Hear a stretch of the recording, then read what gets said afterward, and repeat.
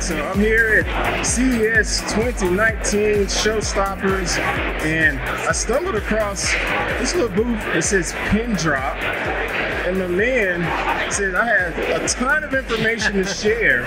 So, what can you share about Pindrop? Yeah, so Pindrop, we are a voice identity and security company. Uh, we have, you know, historically focused where voice has usually been, which has been in the, the telephone channel.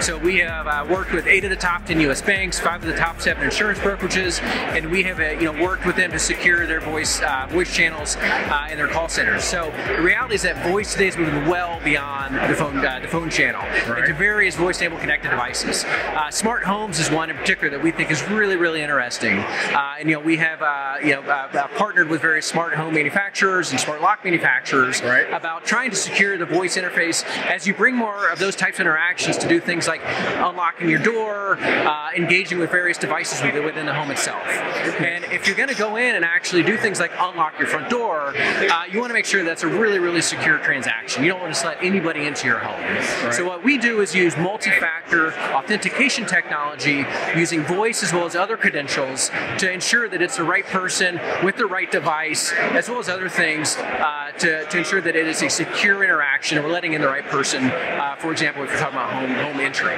See, when, when most people hear about multi-factor authentication, they think about a text message or, right. or something like that. But you're all using voice.